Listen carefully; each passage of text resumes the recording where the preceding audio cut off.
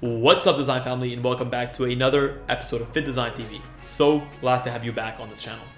On today's episode, we have something a little bit different. We'll be looking at the retail store and how you can design a strong floor plan to encourage traffic and to help build your brand. Obviously, with more and more brands going exclusively online, it seems like the retail store concept or the physical store concept is going out of style. And yes, there's undoubtedly going to be less moving forward for good reason. However, I don't think that the retail store itself is going to be extinct. On the contrary, the retail stores that do exist are going to be more popular than ever. If you think about Apple, and they're going to be able to push your brand to new heights that exclusively online brands can't necessarily go. There's just something about a physical space and the way that it interacts with a brand's value and structure that's so important. So on today's episode, I'll be bringing you guys my specific look as both an architect and a fashion designer in terms of how I think building a strong floor plan can create a great retail store experience and can help you get the most out of the physical space that you're building for your brand. Hey guys, and welcome to FittDesign TV. So glad to have you here. On this channel, we discuss all things sports fashion, graphic design, manufacturing, and technology. We'll discuss key topics, answer pressing questions, and provide actionable steps on starting your own product line. If you're interested in any of the above topics, stick around. You're in for a good one.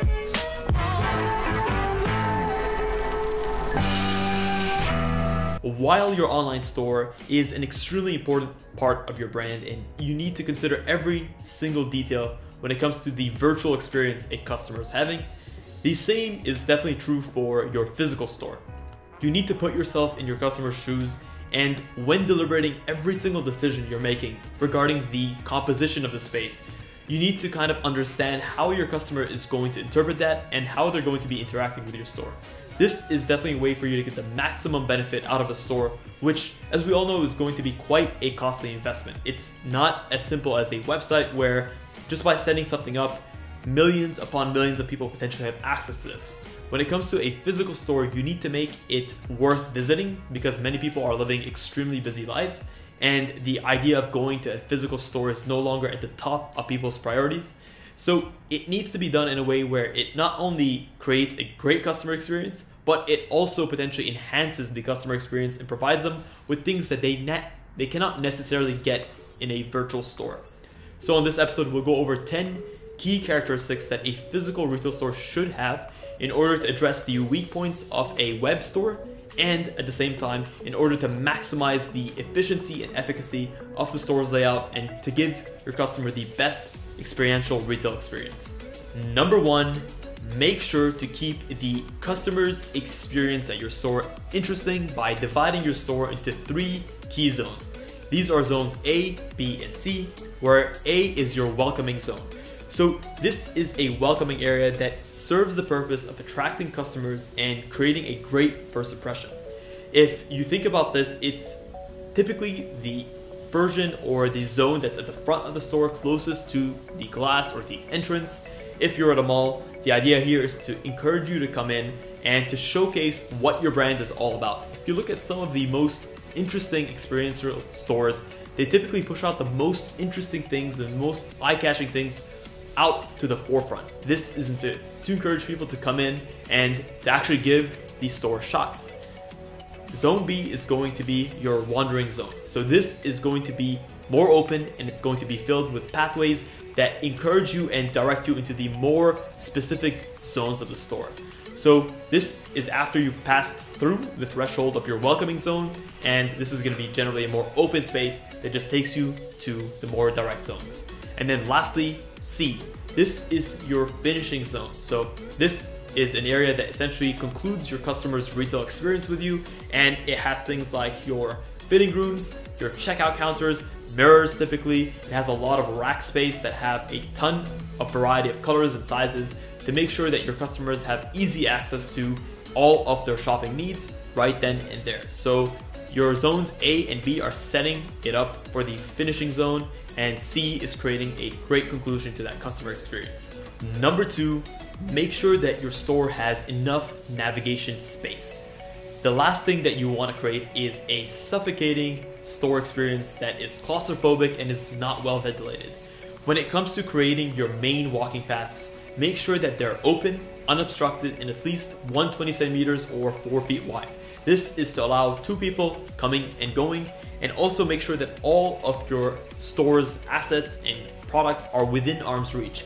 You don't want to put them on shelves or tables that are not accessible, that are not going to encourage your customers to actually interact with the goods and to give them closer inspection and hopefully to even buy them. So these are important things to make sure of. And it's also important to make sure that all of your products are shown clearly and visibly. You don't want anything to be obstructed. You don't want to have unnecessary distractions. The store's layout should be clear and functional. Number three, incorporate details that best represent your brand's image it's important to consider the minor details of a customer's experience, whether it's your layered lighting assembly, or it's the smell of the place, or in general, it might be something like ambient music that represents your brand. It's extremely important to create an experience that customers can enjoy and feel comfortable in. If your brand is not represented well through these details, you're not going to go a long way towards convincing your customers that number one, this is a retail store that represents you, and number two, is a space that they want to spend their time in. Number four, make sure to constantly update your store with newness. It's extremely important to avoid having a store that looks out of date, rundown, or stale. Making sure that the campaign visuals represented in your store are the latest is going to go a long way towards maintaining cohesion across your brand and making customers feel that your store is a representation of the newest version of the brand, the most up to date. Also, make sure that you're always refreshing your interiors and the visual merchandising displays. This is going to go a long way towards keeping your store feeling fresh and something that your customers are going to want to come back to time and time again especially your loyal customers, the ones that spend a lot of time, actually the most time in your store. You're going to want to give them something new every time.